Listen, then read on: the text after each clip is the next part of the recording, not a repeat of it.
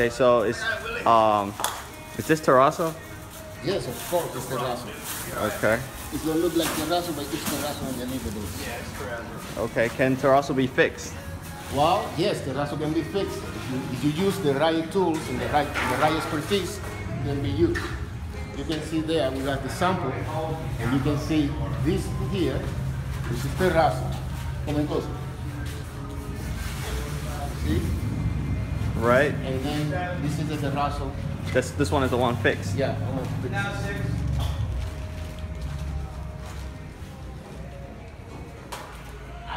And this is the Krasma. Cipriano. Bueno.